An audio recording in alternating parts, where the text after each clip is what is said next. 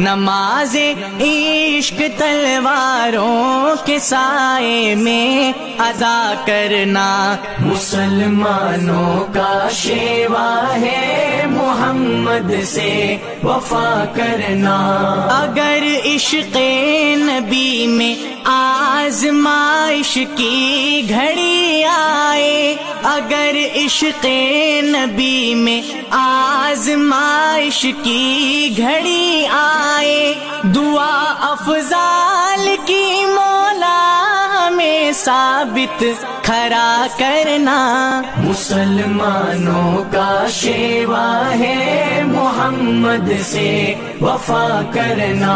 नमाज़ इश्क तलवारों के साए में अदा करना। नमाज़ इश्क तलवारों के साए में अदा करना। मुसलमानों का शेवा है मोहम्मद से वफा करना मुसलमानों का शेवा है। मोहम्मद से वफा करना।